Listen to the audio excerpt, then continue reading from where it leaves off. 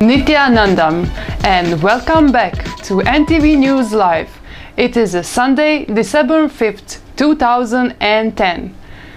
Today in morning satsang, Swamiji talked on a subject Experience the God state with God.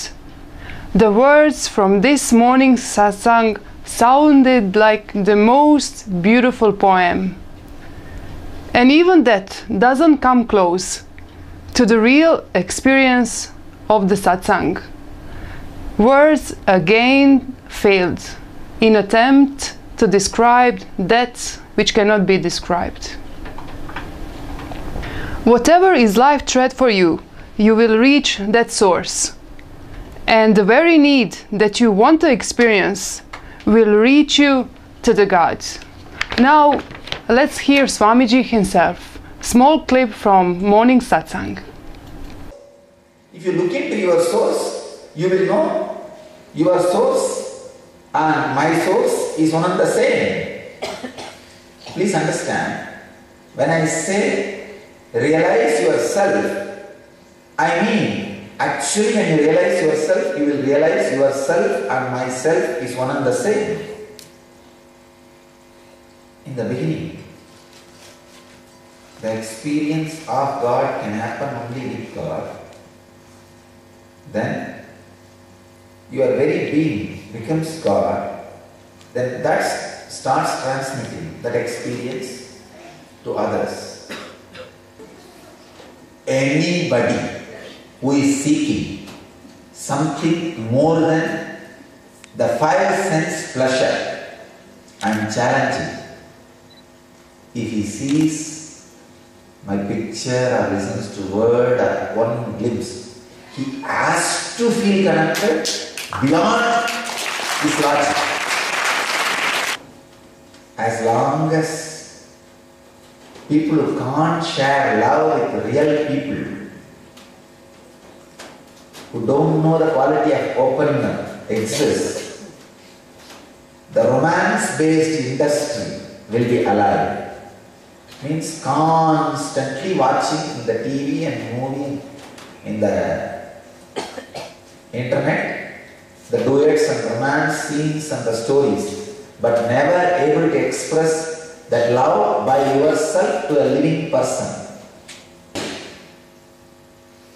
Whatever is life threat for you, you will reach that source. If you want to experience God, naturally it can happen only with God, and the very need that you want to experience will reach you to God, will reach you to intense energy field, will reach you to the God consciousness, the person who is radiating God consciousness.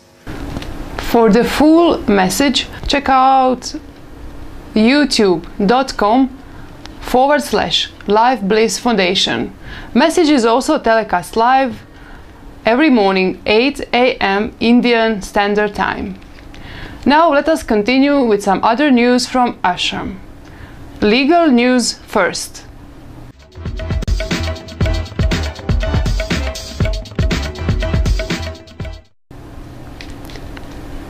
In a dramatic turn of events in the Nityananda case, one of the prime complaints against Nityananda has been arrested in the United States on grave charges of child molestation. Vinay Bharadwaj, 35, cited in Lenin Karupan's FIR as the victim of an unnatural sex offense committed by Paramahamsa Nityananda, has been arrested on three counts of child molestation. In July 2010, the young victim finally came forward to speak to the police, revealing that Vinay had molested her on several occasions. He was arrested on Tuesday, November 13, in Los Angeles County. Vinay Bharadwaj, who used to volunteer full time at the Bellevue Temple of Nityananda's Life Bliss Foundation in the United States, was asked to leave the temple for questionable behavior.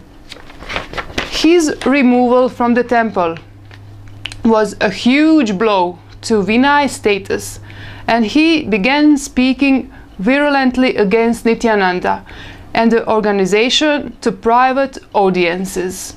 However, he continued to frequent the temple as a visitor and apparently misused his old spiritual name, Sri Nitya Vimalananda, and his earlier position at the temple to gain the trust of the public.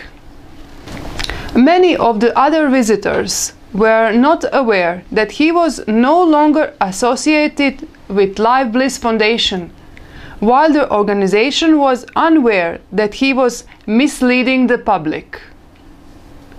Vinay's big chance for vengeance came in the form of Lenin Karupan, who was on the lookout for disgruntled individuals to help put together his FIR against Nityananda. According to Lenin's report, Vinay Bharadwaj had confided to him that Nityananda had forced him into a sexual relationship with himself. For reasons that have now become obvious, Vinay never came forward in person to register his complaint. An email allegedly received from him by the CID was the sole basis of the charge against Nityananda. Do we need to comment? Following this dubious complaint, Nityananda was charged under IPC 377 unnatural sex. Now that it has come to light that the victim is himself the perpetrator of the most disgusting of unnatural sexual offenses, the CID will obviously need to re examine his 377 charge against Nityananda. It may be recalled that the entire case against Nityananda was adjourned in six instances over the same issue of collecting the statements of the same Vinay Bharadwaj. The CID had claimed that Vinay was in touch with them and that they had several emails from him in their possession, but they needed time for personal interrogation. In spite of being granted extra time by the court twice, the CID reported zero progress on the matter. The CID then proposed to file a special leave petition for permission to travel to the United States and examine the victim, which proposal, however, was not carried out at all. The SLP issue alone ensured that the case dragged on for an additional three months. At the end of this period, no CID officer had traveled to the United States, nor had the mysterious victim been interrogated or even located. Why? Now, with the arrest of Vinay Bharadwaj, the mystery of the missing 377 victim resolves itself. With a big time informer turning out to be a big time criminal instead, the CID is going to have a tough time explaining the credential over the other witnesses it, get, it has tried to line up against Nityananda. Now let us continue with some other news from Ashram. Here we are, busy with the satsangs again. The schedule for today is Hyderabad, and satsang was conducted in the afternoon on a topic conflict-free living. Also this afternoon, there was an satsang in Mumbai and Tirunelveli. Tonight, and satsang are going to be conducted in Greensboro, North Carolina, United States, then in Istanbul, Turkey. Topic is Nitya Dhyan explained in depth. After Houston in Texas, United States, and also one in Port Washington, New York, United States. And as usual on uh, weekends, we have an uh, Life Bliss program level 1 uh, conducted that is an introductory meditation program which works with uh, energy levels in human's body with chakras also there was a uh, medical camp organized in a nearby village in uh. We will give you a full report tomorrow. Today, ingenious children had a great session with Swamiji. And what to say about that? The way children experience Swamiji, it's just amazing. It's such excitement and openness. We have to learn so much for these children. In my life, at the age of four or five, I started learning levitation. Hmm? And as kids, learning is very easy. I'll teach you that simple technique of levitation. As I said, how the balloon flies. If more air is filled in balloon, it flies. But they don't Same thing. Hmm. pop. Pop. You will not pop, don't worry. I'll take care, you will not pop, okay? You yourself will try your best to fill air in your body using the technique I give now. Then I will pour directly energy into your body so that when you lift, when your body lifts, lifting, staying in the air and landing happens without pain. Because when you land, you should not hurt your butt. Come on. Are you guys ready? Yes. Uh, sit in Padmasana. Inhaling should happen. Not. Okay. Understand? Get the clay. I'll make a Ganesha. And whoever levitates properly, for them, it's a gift.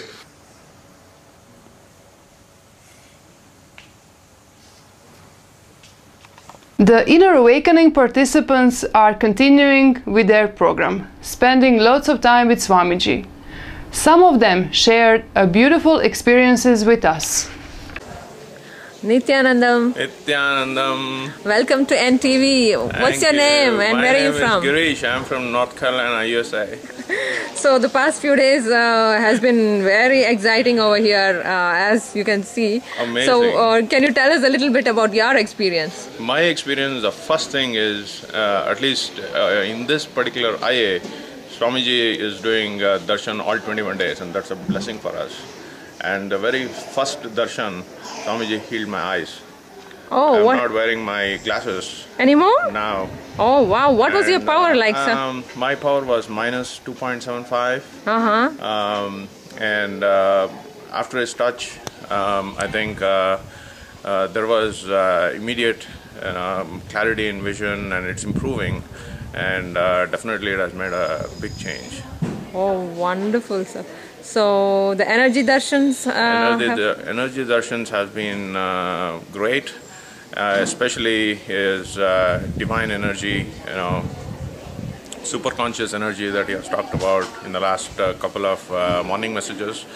I urge everybody who is not here in Inner Awakening to see the morning messages for on uh, December 2010 IA. Please see this. So what about your other experience with the ashram, the food, the stay here? How I has it been? love the food, and I've asked from Swamiji and also several other people to uh, now uh, do a cookbook, you know, for everybody. Uh, the atmosphere is excellent, Mm-hmm. accommodation is great. Um, you know, um, uh, the the you know it's already been uh, close to a week.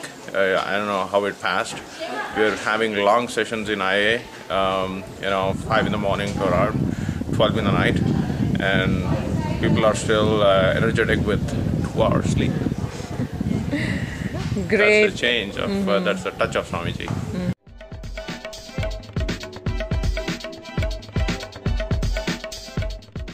Today we go into a much deeper layer. It's a very deep and powerful process. Can be confronting, but that said, the process is called samskara dahana kriya. Samskaras are engraved emotional, emotionally charged memories which exist in us. But it's going to be a radical statement that I will be telling you now.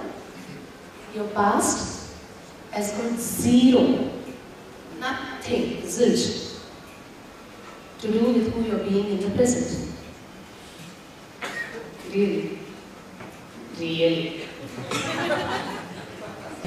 Unfortunately, because of the fundamental filing error we do in life, the past doesn't sit in the past. It completely, almost all the time, especially the past with emotionally attached memories. All of that we put right there in the future. And depending on that, our behavior is given moment to moment. Swamiji very beautifully says, as you're growing, ideally you should blossom with intelligence and you should have ease and spontaneity with life. But does that happen?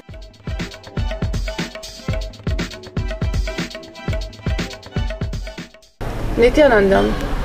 Our guest today is uh, Rishi Mitrananda and he's a yoga acharya. Um, he's going to explain us a little bit about Nitya Yoga during this uh, Inner Awakening program. Nityanandam all.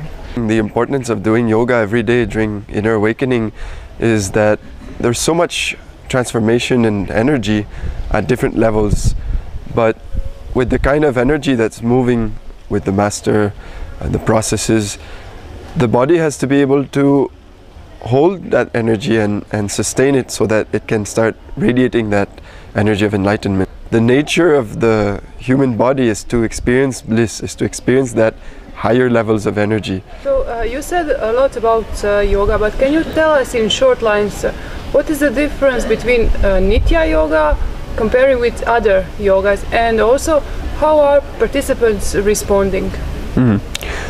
Invariably, people, when they go through a Nitya Yoga class, everyone touches that space of vibrant silence. Just a beautiful inner space where at the end or during the whole class, you can feel the silence. It's just there. Really, it's not like there's a huge difference. If we look in the essence of many other yoga systems, like Hatha Yoga, the purpose is to prepare the body for higher consciousness, for the awakening of the Kundalini. The purpose is the same. Only thing is, in society, in different places, well, we've taken yoga as a synonym of only body gymnastics, like bending the body, like a pretzel, this and that. So if we only do it with that intention of just bending the body just because it's a body and we like to look at it, we're missing a huge dimension of yoga, which is a whole inner space. So in Nitya Yoga, the whole focus is in going in, feel what's happening.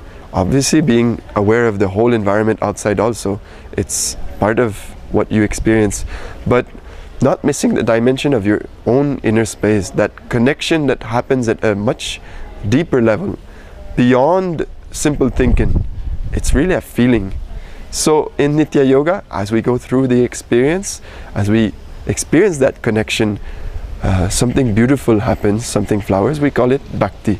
And bhakti is really it's the nectar of, of experiences, uh, just feeling that connection with life itself, with the whole existence, and ultimately the master, the embodiment of that existential energy. So, uh, Nitya Yoga is something that can happen not only in the morning when we do it for one hour on the yoga mat, but it's something that permeates our whole life once we just open up to that connection. Walking can be yoga, eating can be yoga, anything is yoga. Just that state of eternal uniting between the body, the mind, and just the whole being. So instead of being fragmented all the time between different agendas, we just integrate ourselves totally. And where? Here, right now, in that present moment. Because nothing else exists. It's just here, it's there. So you just feel it. That's all. So that's Nitya Yoga. We will keep you updated with all the informations about inner awakening. Now, let us end our news with a quote from Swamiji. If you just accept yourself and remember you are unique. Suddenly you will radiate grace. Thank you for joining us and stay tuned for tomorrow's update on NTV Nityanandam.